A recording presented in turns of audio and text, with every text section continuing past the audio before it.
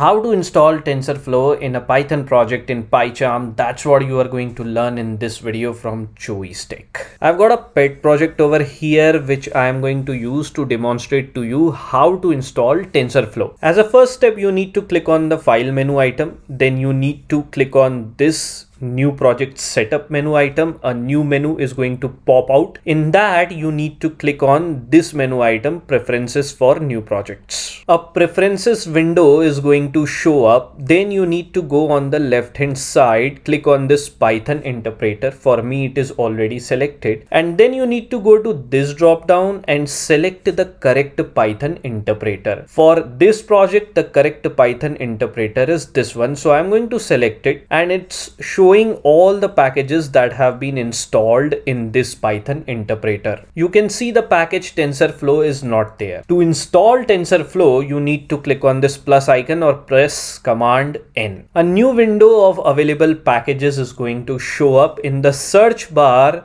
You need to type TensorFlow. Let me type it Alright, you can see TensorFlow is showing up here as the first item in this list over here. Now to install it, you need to come down here and click on this button install package. So let me click on it and the installation has begun.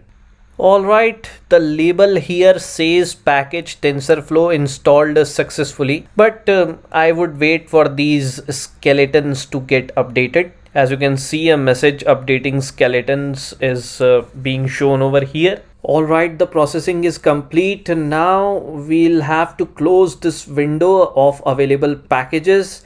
And you can see that the package window is full of TensorFlow library and the libraries that got installed with it. So now you need to click on apply and then you need to click on OK. Now we are going to test whether TensorFlow is installed successfully or not by checking its version programmatically. So create an empty Python script in this project and write import TensorFlow as TF. Okay we are importing the TensorFlow library, the TensorFlow package. And then in the next line, write print within its brackets, write tf dot underscore underscore version double underscore again.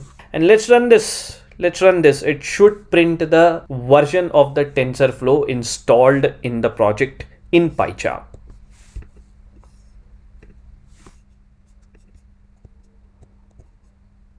Alright, you can see in the console the version of the TensorFlow package has been printed successfully. So this proves that TensorFlow got installed in this Python project of mine in PyCharm. With this, we have come to the end of this video. I hope you enjoyed learning how to install TensorFlow in PyCharm from this video of Joey's Tech. Do like this video and share it with your colleagues who want to install TensorFlow in PyCharm. I'll see you in the next video of Joey's Tech. Till then, goodbye and take very good care of yourself.